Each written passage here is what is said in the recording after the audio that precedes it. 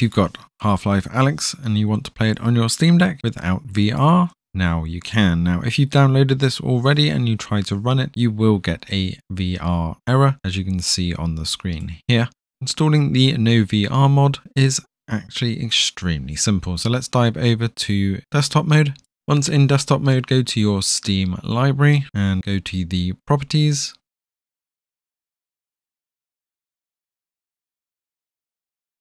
Go to local files and hit browse up the top to open the location where your Half-Life Alyx install is. And then you want to head over to your browser and head over to ModDB. Now there's a link to the description and below that's got a text guide of this from our article and links to all of these sites as well. So once on the ModDB site, head over to the file section and look at the latest update. At the time of this update, it was update 4 and hit the download now button.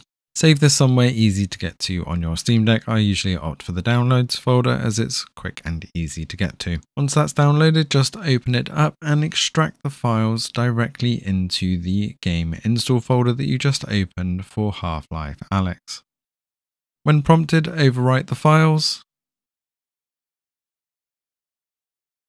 When prompted, overwrite the game files, and that's all you need to do from the file side. Now you'll need to go and put in some command line arguments now. For some reason my keyboard gave up on me on Steam Deck desktop mode. So I did switch back over to game mode and also that's where I wanted to show the gameplay. So once that's copied over, switch over to game mode, head into the properties for your Half-Life Alyx install and under the general section for launch options, you're going to want to put in a few things here. The most important is the hyphen vsync and then space and hyphen no VR. This enables the mod to actually be able to play the game with no VR installed and the extras are optional, but these are highly recommended to put hyphen W space 1280 and then space hyphen H space 800 to set the resolution for your Steam Deck.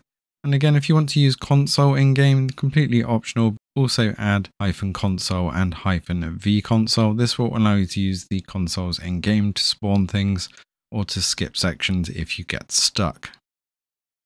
And that's all you need to actually get things up and running, but there are a few issues right now. This is an ongoing mod and it's only playable up to the end of chapter 6.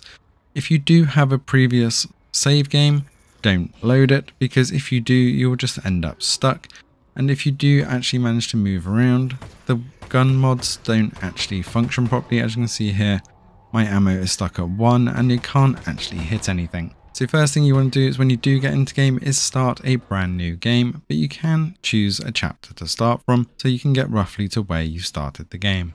One of the keybinds is NoClip and it does have a dedicated controller layout so make sure that you use that in game.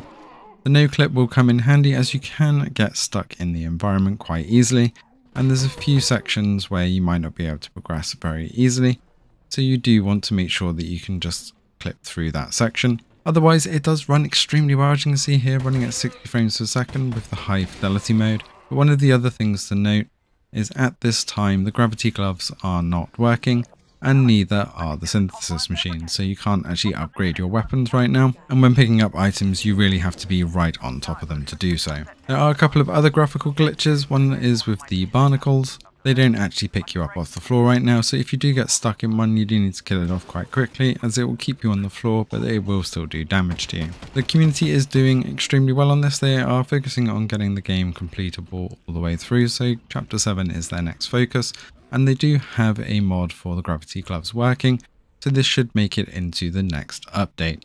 Follow our article to get all the latest updates, we will regularly update it as they update the mods, so that you can get further in the game and much more enjoyable experience. But for now, up to chapter 6 you are able to play this on Steam Deck, and hopefully they'll get the other things fixed very soon. Let us know in the comments below if you're going to be diving into this one or you're going to wait for a bit more info.